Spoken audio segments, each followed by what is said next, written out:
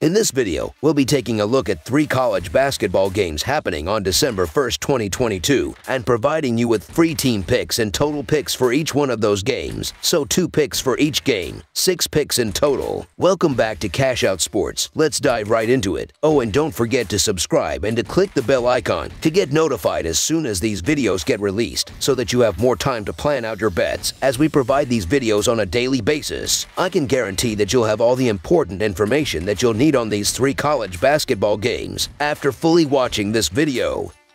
One more thing before we start. If you would like to gain access to our best exclusive betting picks to take your sports betting journey to the next level, then check out our Patreon in the link down below where we offer anywhere from one betting pick a day up to 10 betting picks a day and much more. Now let's get started.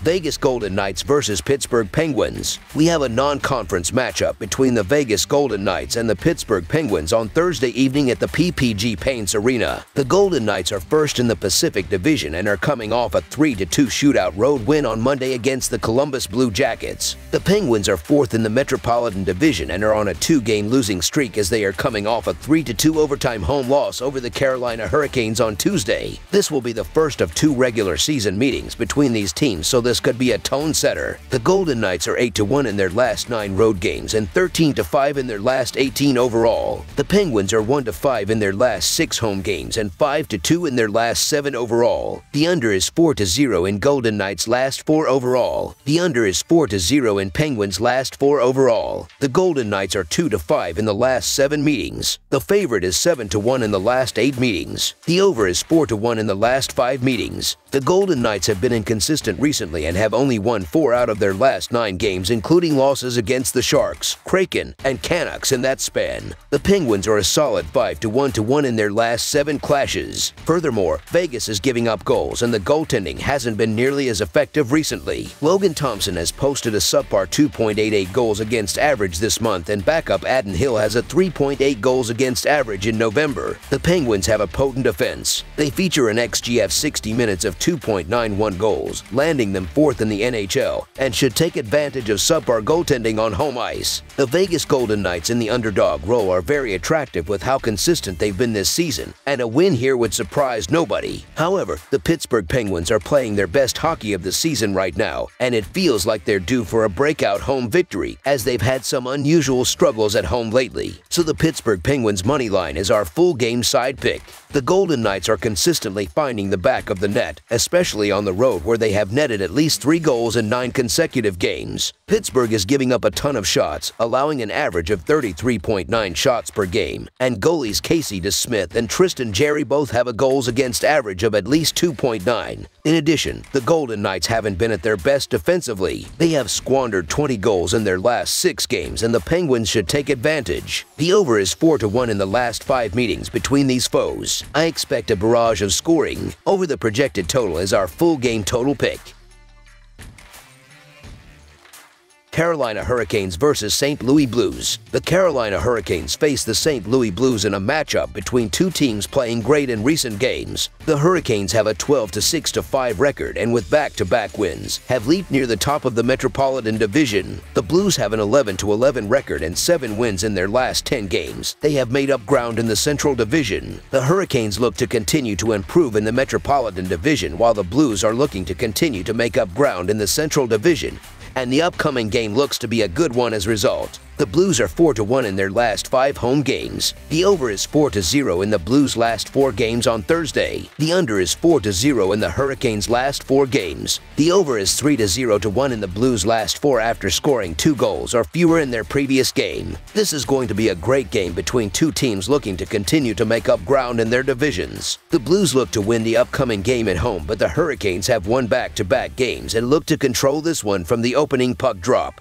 The Hurricanes should pile on the goals against a Blues defense that is allowing 3.55 goals per game with Sebastian Aho, Martin Necas, and the rest of the forward unit controlling the puck in the offensive zone and creating open shots with strong centering passes. The Hurricanes, who allow only 2.74 goals per game, should also limit the Blues offense with Brady Skjei, Brett Pesce, and the rest of the defensive unit creating turnovers at the blue line and limiting the Blues from establishing a strong offensive zone presence while goaltender Antti Raanta blank shots on the net. The difference in these offenses as of late have shown a major difference as Carolina is scoring 2.7 goals in their previous three games while St. Louis is averaging 2.5 goals in their last four games. The ability to do well on the penalty kill is critical as the Hurricanes are killing 80% of penalties while the Blues are killing just 69.4% of all penalties thus far. So the Carolina Hurricanes money line is our full game side pick. These defenses as of late have been struggling as the Hurricanes are allowing three goals in their previous five games while the Blues are giving up 4.8 goals in their last four games. Both teams are also doing well at scoring on the power play as Carolina is scoring on 16.5% of them while St. Louis is scoring on 22% of all their power plays. The over is 5 to 2 to 1 in their last 8 games against each other in St. Louis. Over the projected total is our full game total pick. Edmonton Oilers versus Minnesota Wild. The Edmonton Oilers face the Minnesota Wild with both teams looking to improve from rough starts to the season. The Oilers have a 13-10 record and are on a three-game winning streak while the Wild have a 10-9-2 record and are in the middle of the Central Division. Both teams are looking to improve within their divisions and the Western Conference and the upcoming game looks to be a great one as a result. The Oilers are 9-3 in their last 12 Thursday games and 5-2 in their last 7 versus Western Conference. The Wild are 11-4 in their last 15 versus Pacific and 57 to 25 in their last 82 home games. The over is 3 to 1 to 1 in Oilers last 5 overall. The over is 4 to 1 in Wild last 5 overall. The Oilers are 7 to 26 in the last 33 meetings in Minnesota and 18 to 47 in the last 65 meetings. The Edmonton Oilers wrap up a quick two-game road trip on Thursday when they play the Minnesota Wild. Both teams have been treading water lately and could use a win to start a winning streak as both are 5-5 in their last 10 games. The Wild are catching the Oilers at the right time, thanks to the schedule. The Oilers played in Chicago last night and will have to travel to Minnesota to play in the second game of a back-to-back. -back. The Wild, on the other hand, are well rested as they are at the tail end of a seven-game homestand and haven't played since Sunday. Defensively, the Wild have been a top-tier team over the past two weeks and should be able to take advantage of the fatigued Oilers attack. The Wild have done a great job of limiting scoring chances at their net as they rank third in expected goals against.